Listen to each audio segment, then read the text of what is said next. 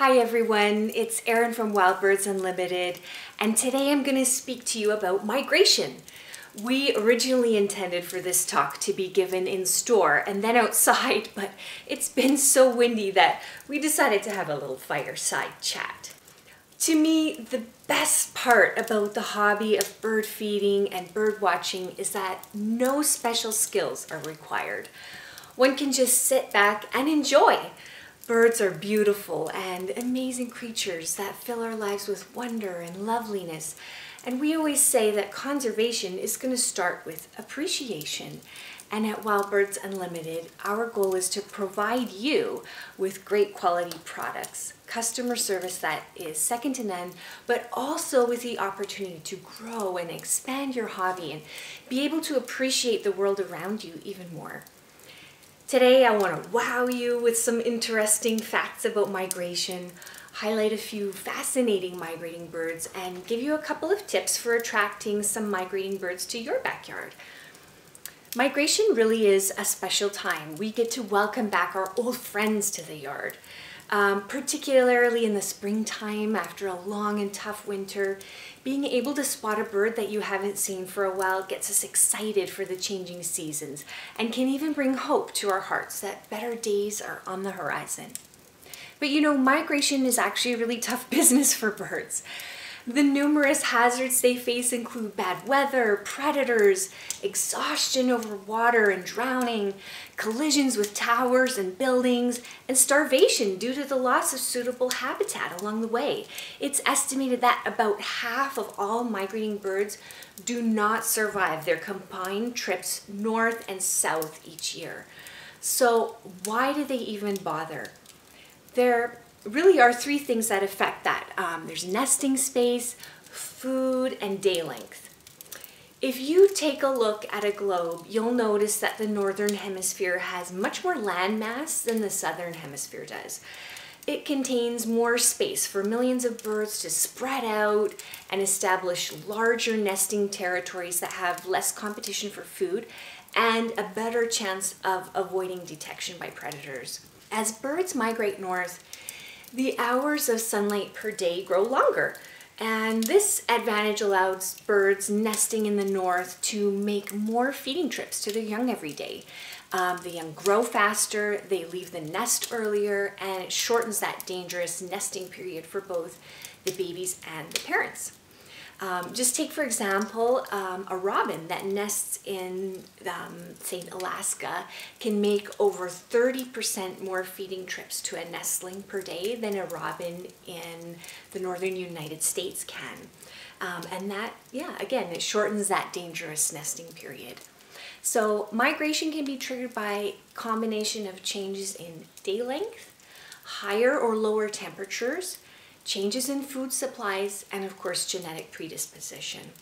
So did you know that more than 300 breeding species leave the United States and Canada to spend the winter in Mexico, the West Indies, and Central or South America. Across the planet, 4,000 or more species of birds are regular migrants, and that's about 40% of the total number of birds in the world.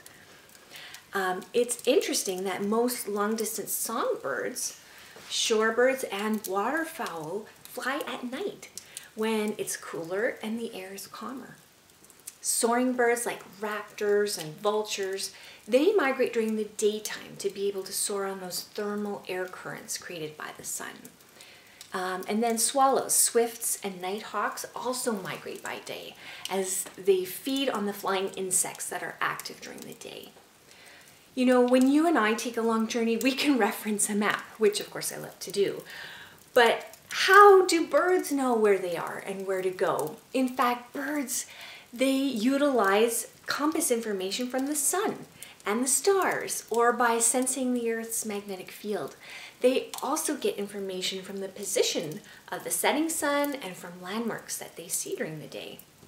One of, or actually the highest flying migratory bird is a bird called the bar-headed goose. This goose regularly reaches altitudes of up to 29,000 feet above sea level while flying over the Himalayas in India. The longest migrating bird is an Arctic tern. And this bird can fly more than 80,000 kilometers each year. They rack up more miles than any other migratory bird. They travel between the Arctic, where their breeding sites are located, and the Antarctic, and that's where their summering grounds are. And this is an annual journey that is roughly equivalent to flying twice around the globe. That is more mileage than you put on your old faithful Honda each year. With an average weight of an eighth of an ounce, hummingbirds are the smallest and cutest migrating bird.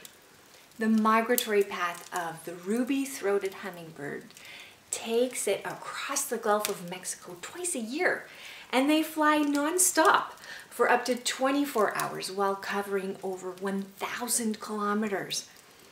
While you may not see a bar-headed goose or an Arctic tern in your yard, you can attract migrating birds. And whether a bird is just passing through, like the American tree sparrow we spotted in the trees just off our deck a few mornings ago, or whether it decides to set up shop for the season like American robins or American goldfinches or red-winged blackbirds or even something like a Baltimore oriole, one of the best ways to welcome them is to provide an environment that mimics how birds naturally live and forage. So I'll give you some tips. My first tip is to use the natural landscape to your advantage. So a landscape is that is not completely manicured is going to help attract birds. So take a look around your yard. Do you have natural cover? Is there somewhere for birds to hide from weather and predators? Do you have some natural food sources? If possible, allow some plants with seeds to stay in your yard during fall, winter, and spring. Like many birds, like finches and sparrows and juncos, they love to work on those seeds. Put out a few brush piles. It gives birds a place to hide as well as a spot to rest and seek cover before and after eating at your feeders. And leave some standing dead wood or plant a big dead tree called a snag. Woodpeckers love to go to town on these, but other birds climb up and down the tree trunk as well, looking for tiny insects to eat.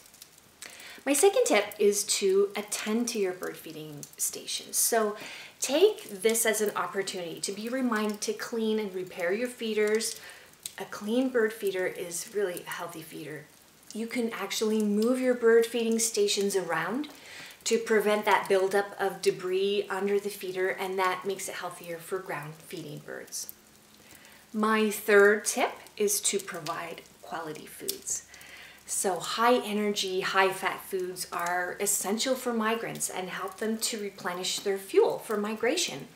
A high fat food is the most concentrated energy source that a bird can consume. Um, that stored body fat is the primary energy supply that fuels a bird between meals and throughout cold winter nights and throughout migration. So I would recommend any of our blends, a no mess blend, Tree Nutty Plus blend with lots of those high fat nuts. Choice Plus is also um, a good one to try.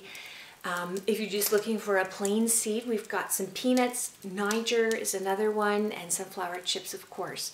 There's other great foods to offer as well. Um, some suet to put out in your yard attracts more than just woodpeckers. I often see songbirds headed for the suet. Bark butter is great, bark butter bits, and of course, if you're not squeamish, mealworms. But uh, my last tip is to provide a moving water source. So moving water is a magnet for birds. If a bird is passing through and they see or hear moving water, they will almost always check it out. It's a great way to see birds that may not visit a feeder, but will make a pit stop in your yard. A heated bird bath in the winter and a waterfall or mister or drip setup is a great way to entice birds of all species.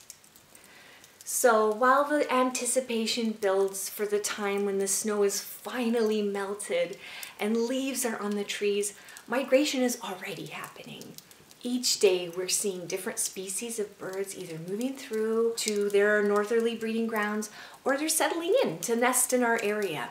And I hope you can see the magic of migration happening all around you and even find a way to attract these amazing birds to your yard.